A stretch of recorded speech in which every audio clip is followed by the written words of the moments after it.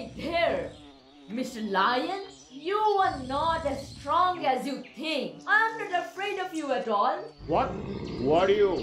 I challenge you to a fight. Let's see who's really the strongest. Oh, what's going on?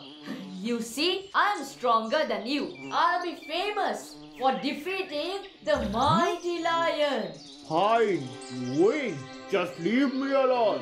I defeated the powerful lion. I'm invincible. What's this? Let me go.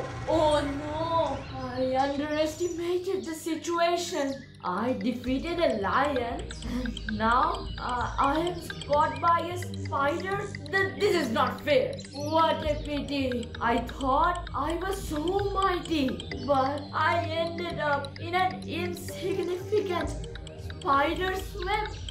And so the lesson is learned. Boasting and underestimating others can lead to unexpected outcomes. True strength is not always what it seems. He who is the least feared is seen to be the most feared.